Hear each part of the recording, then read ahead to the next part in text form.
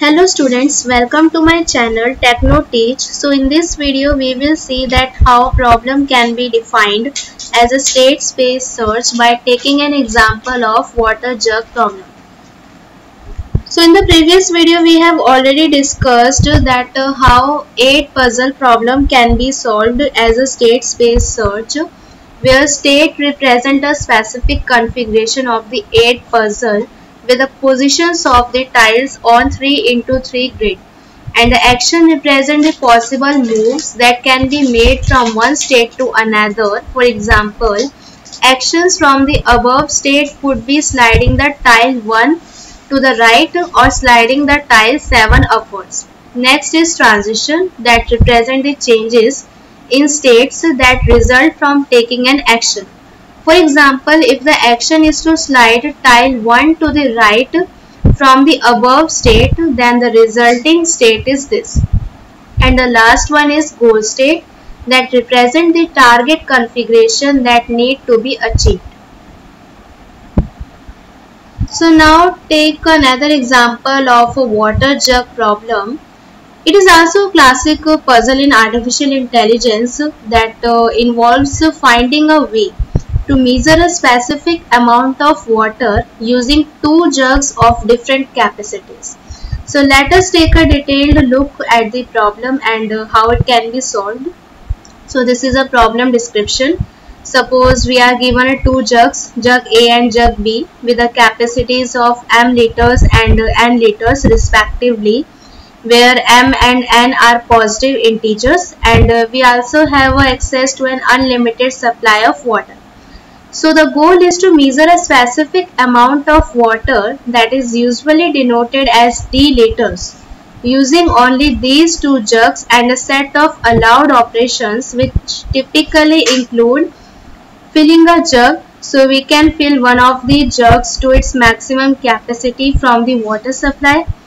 Next is emptying a jug. We can empty the contents of one of the jugs onto the ground or into a drain and the last one is a pouring of water between the jugs so we can transfer a water from one jug to another either until the target jug is full or the source jug is empty. So the main task is to find a sequence of these operations that will result in exactly d liters of water in one of the jugs or determine if it is not possible to measure d liters using the given jugs and operations. So the solution is, uh, uh, let us take an example to illustrate the water jug problem. Suppose we are given jug A with a capacity of 4 liters and uh, jug B with a capacity of 3 liters. So we need to measure 2 liters of water in jug A, not jug B. So initially both jugs are empty like in this case jug A 0 4 liters and jug B 0 3 liters. So both jugs are empty. And in the next step, we can perform a series of allowed operations to measure a 2 liters of water. So here is one possible solution. Like in second step, fill jug A with the water from the supply which is of a 4 liters. And uh, in a third step, pour the water from jug A into jug B. In a fourth step, empty the contents of jug B. And then in a fifth step pour the water from jug A into jug B again. And then sixth fill jug A again with the water from the supply. And in the last step pour the water from jug A into jug B until jug B is full. So at this point we have exactly 2 liters of water in jug A which is the desired amount we need to measure.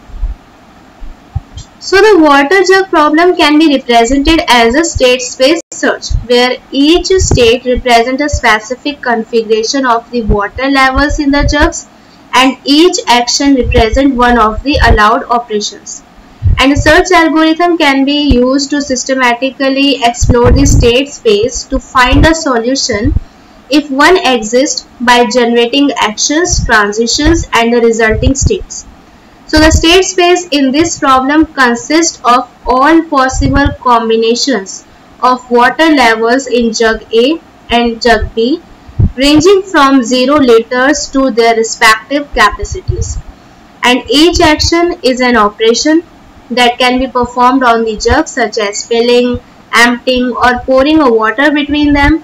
The search algorithm such as DFS that is a depth first search and BFS that is a breadth first search or A star search can also be used to generate potential actions, transitions and resulting states. So thank you students.